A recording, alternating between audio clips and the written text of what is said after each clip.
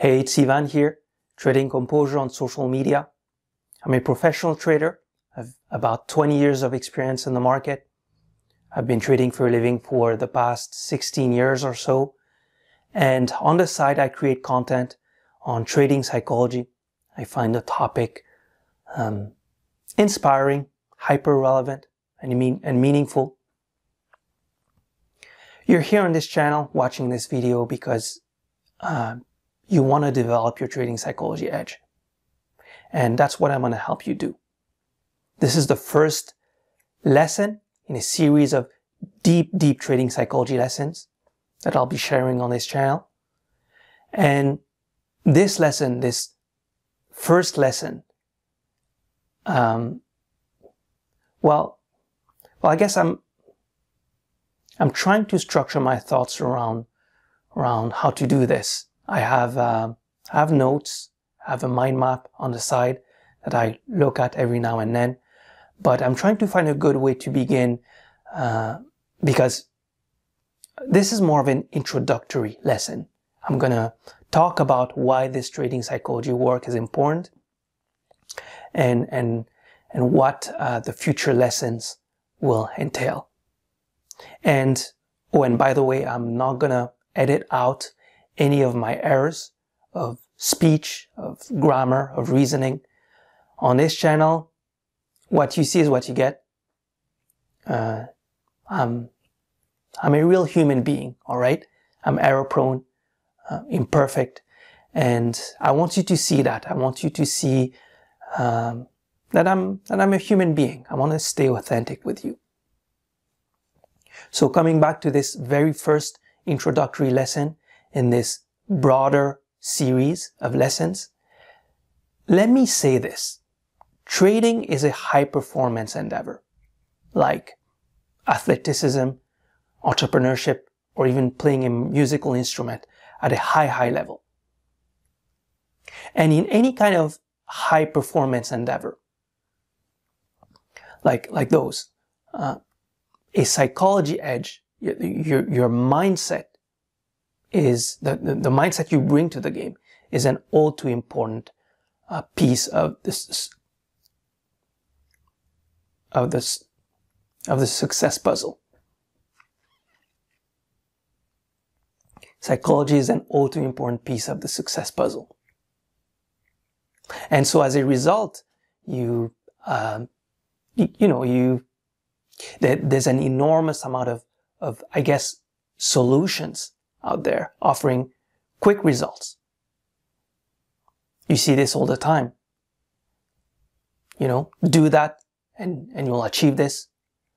Buy this and you'll, and you'll, uh, you'll, you, will you will get that. You'll get those results. I mean, in this space, this is all too common. Shortcuts, hacks, quick fixes, these quick solutions, they, they don't work consistently enough to be truly helpful to your bottom line, in my opinion. Because, well, they're quick fixes. They're, they're, they're quick external solutions to deep internal issues. To be clear, there are some really good uh, stuff out there, you know, by, by, by some talented and qualified people who know what they're actually talking about. Uh, but uh, I'm I'm not talking about that. What I'm really talking about is the uh, usual surface level trading psychology content that you see out there everywhere. That's what I'm talking about. They're putting a band-aid on, on a deep one and calling it a day. You know? And that's not enough. It's, it's not tackling the core of the issue of, of, of why traders fail in trading, of why the success, the, the, the failure rate is, is so, is so, um, is so high. This sort of cookie cutter approach to trading psychology doesn't work for a lot of people. For a lot of people, that's not enough. For a lot of people, uh, what's needed is a fundamental shift in how they think, how they perceive, how they experience the market, let alone the world or life. A fundamental shift. So this is some serious work, some, some paradigm shifting work that I'm prescribing for you and offering. Because, look, most people know what they should do in, in the, in the market. That, that would get them consistent, predictable, reliable success. They know that very well. But they, they can't apply what they know. And that's the problem. They can't do it consistently enough. Even if they have periods of profitable trading, it's usually punctuated by massive drawdowns. I personally know this all too well. I've experienced this. S- somewhere down the line, you, you find a way to screw up and you're back to square one. I've been there. Been there, done that. So I want to help you get off this emotional merry-go-round once and for all. And, and, and to maintain uh, stability of mind, stability of focus, and equanimity, and uh, perspective, and independent thinking, no matter what the market throws your way. That's what I want to help you do. Now, what qualifies me to lead you through this through such a paradigm shifting work? Well, as many of you know, I myself have struggled a lot in the market. And those struggles, out of all things, led me to a self-discovery um, path, led me on, on, on a self-actualization journey. I've personally studied with a few renowned meditation teachers and spiritual gurus I've, I've received guidance uh, from them on my path. I've lived um, the life of a monk for a short while, delving deep into my experience, analyzing the state of my knowledge, the nature of my thoughts and emotions and beliefs on a deep, deep experiential level. But that aside, I've also studied philosophy and performance psychology, and I've developed my, my own insights and conclusions. So, so I've personally done that paradigm shifting work myself, and I've changed as a result. Um, um, I've changed as a trader, I've changed as a human being.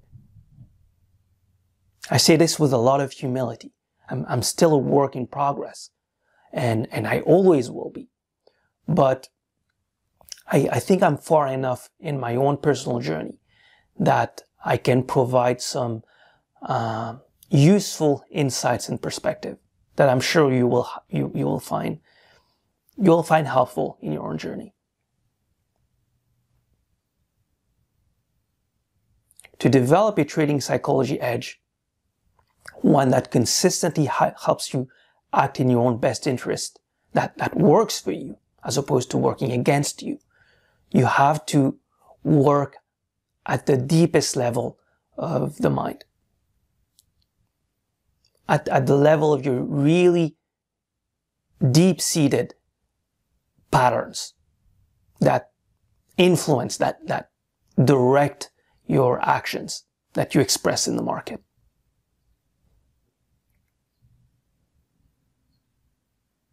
That's what you have to do. So there's no quick fix. There's no fast solution to this. It requires the right information and, and guidance. It requires consistent work. All right. con- consistent work and learning. It requires dedication, requires patience, it requires interest. You, you, you, you must want it, right? Because in doing this profound work on yourself, you will, you, you will be confronted with, with information that's, that's hard to accept. You will uncover things that are uncomfortable about yourself. And you will have to deal with them heads on.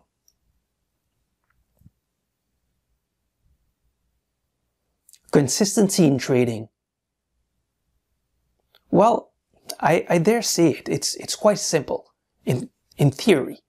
If, if you know what to do and, and can do what you know, uh, that's, that's, um, you know, that's it right there.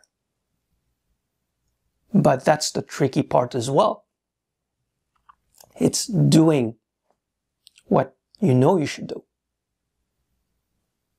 You have to get your thoughts, your behavior, your actions to align with the way the markets are, to, to affect your results in a positive way. In, in order to create this beautiful long-term equity uptrend.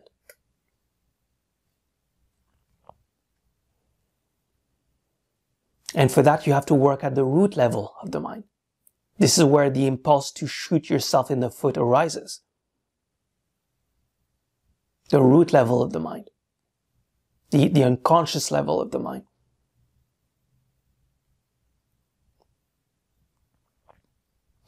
I want you to imagine this. Imagine the most basic life form out there. A bacteria, an amoeba, um, one of those two. Um, but picture how they're constantly moving away from things that aren't good for them and, and constantly moving towards things that are good for them, that, that, that keep them alive, like uh, food or, or light or shelter or whatever. And picture how it's pretty much the same the further up you go on the food chain. It's the same with fishes. It's the same with uh, reptiles, mammals. Life has a characteristic to move away from certain stimuli towards others. Because life wants to survive. It's, it's a reflex. It's an impulse. It's, it's instinctual. And this is the root of the problem for us traders. Our minds have a tendency to, to mindlessly gravitate towards uh, what is pleasant and comforting and known and move away from what is uncomfortable and uncertain. This mindless craving and aversion impulse, um, it's, uh, I mean, it's, uh, it's the cause of much of our suffering in, in this life. Mindless craving and aversion. In, in fact, this concept is so intuitive and, and simple to grasp that sages in ancient traditions began thinking about that more than 2000 years ago. This cycling between craving and aversion is the very fuel behind most of men's problems. From wars to ecological disasters, broadening inequality, to more simple matters like, like the inability to stick to, to a diet or regular physical activity, the, the tendency to always want to be right, the inability to quit smoking. It all stems from this impulse we move towards what is pleasant now. We move away from what is unpleasant now. It's a short-term mindset. You could see it as that. I want this now. This impulse starts the moment we're born, perhaps even earlier in the womb, And throughout the years, the mind builds habits over habits and patterns over patterns around this very basic impulse of craving and aversion, of moving towards what is uh, pleasant and comforting and away from discomfort. And it will continue to do that because that's what, you know, that's what the mind does. That's what it wants. That's what it seeks. It's a basic survival mechanism. There's, there's, there's nothing wrong with it per se. Again, it's, it's just sur- survival. It's a basic survival mechanism that all life forms have. And, uh, they, they all have that in common. Of, of course, as humans, we're so much more evolved than a blob of bacteria, let's say. Um, i mean, we've shaped our environment through our understanding of it, and we, have built technology to lower uncertainty in our lives, uh, to, to, to give us more predictability over, over our future. We've created societies, rules, laws, regulations, and all of that to give us the assurance that we're all moving towards the same, in, in the same direction, towards the same future. We're, we're not just, uh, you know, animals living on instincts alone. We're, we're a higher life form with a higher level of intelligence and, and, and higher level of consciousness. That's great. But in certain areas where we don't have the same kind of, of control and predictability that we do have in, in most areas of our lives, we tend to revert to relying on our basic impulses, basic primal impulses. And the market is a good example of where that happens, of where we're prone to reverting to, to reverting back to impulsiveness. And of course, that is why trading, let alone trading for a living, is, is, is, uh, difficult. You know, it's, it's, it's, it's a tedious activity that only a few people are able to do profitably.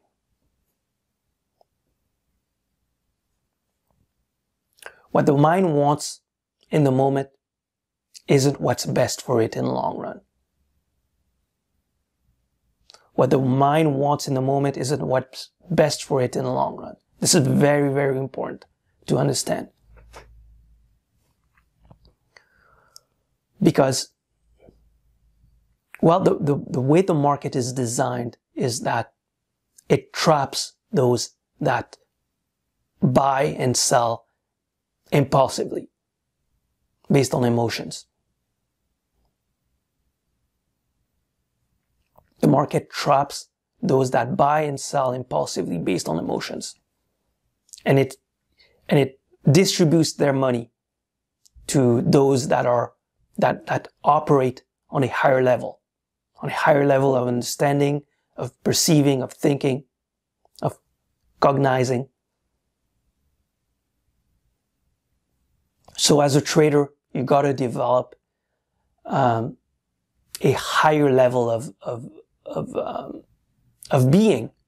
You, you you can't rely on mindless impulses and emotions to survive and thrive and, and be successful in this field. Now, I will help you develop that higher level of, of cognizing and functioning.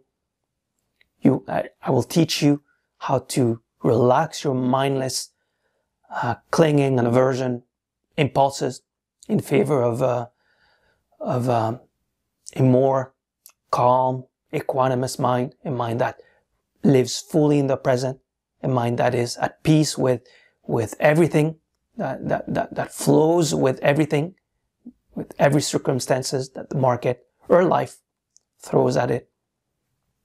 It's a mind that thrives in uncertainty. I will help you develop that kind of mind. Here are some of the things we'll tackle on this channel. How to think from the market's perspective. We'll spend a considerable amount of time on, on that. Are prices random? Are, are they not random?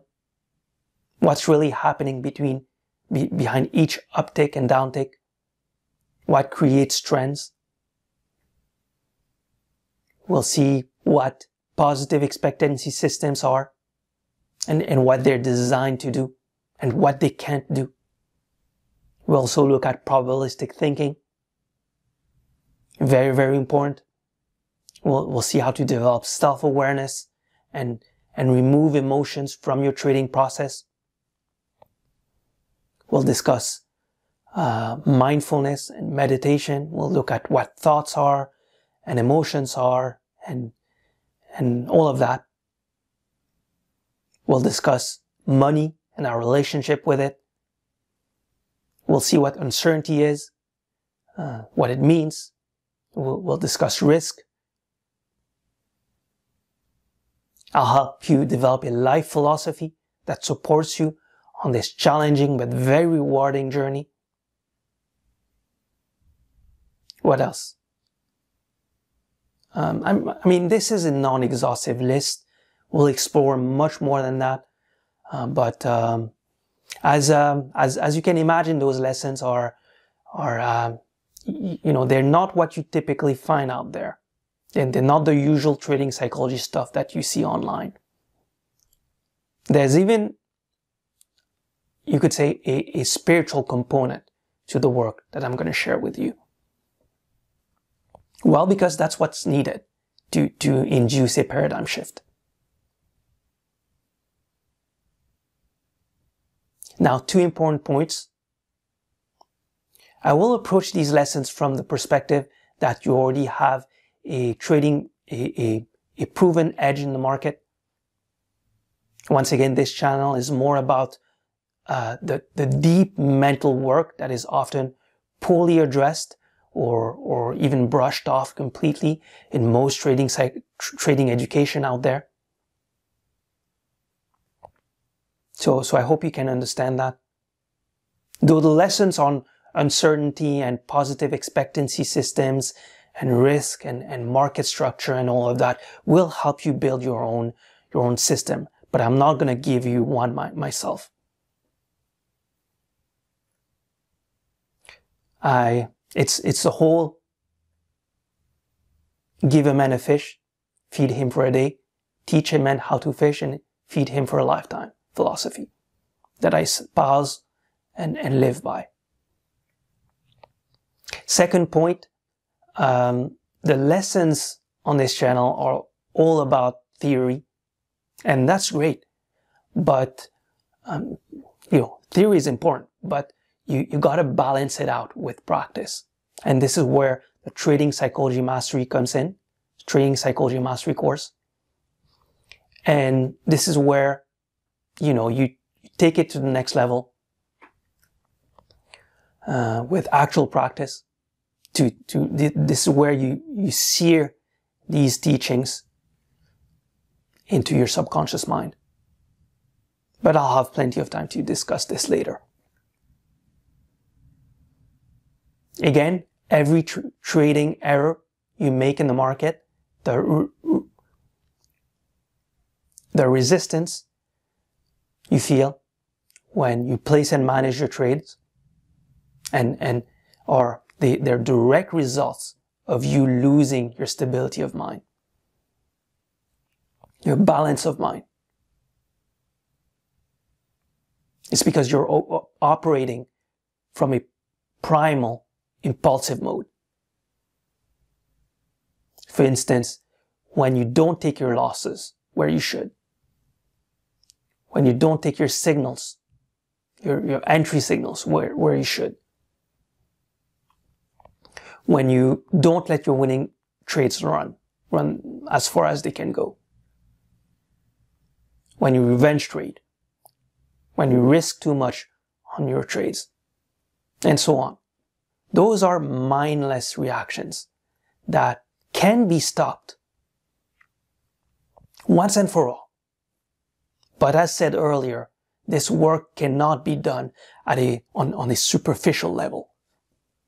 It needs to be done by the kind of, the, the, the right kind of knowledge and, and the right kind of guidance and practice.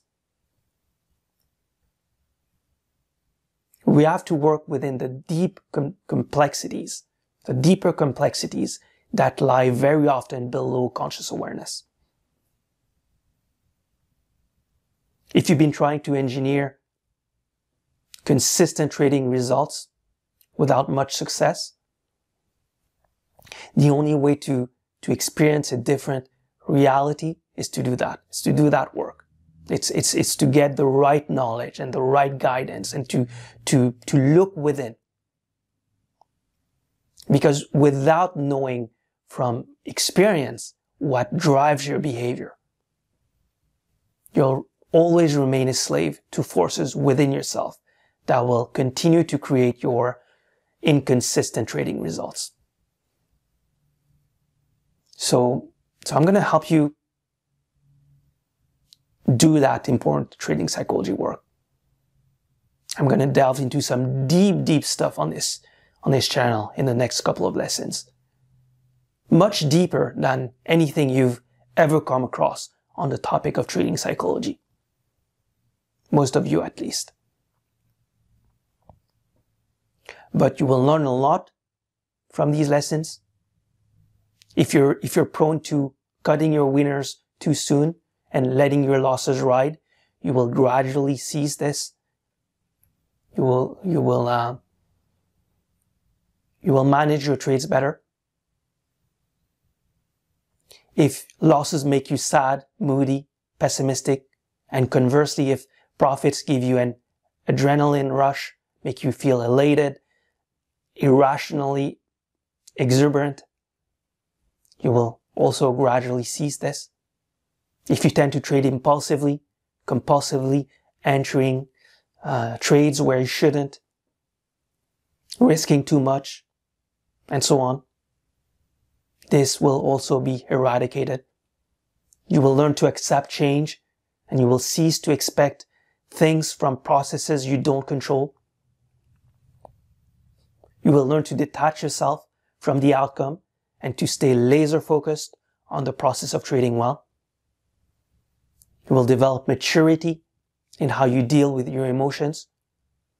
You will embody all these lessons and changes because we will make an operation right on the very core of the issue. We will attack it from many different angles. And at times, the, the, the, the lessons, the content might appear a little repetitive, but that isn't a bad thing Again, we will approach things from many different angles and I will drill down these concepts into your, into your mind, into your subconscious, into your very being. So try to stay curious and, and open.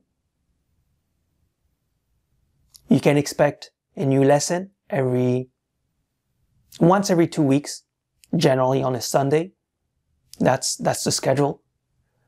But if I feel inspired and to, to, to talk about something, I'll, I'll just pull up the camera and, and press the record button and release something. But the regular schedule um, is once every two weeks.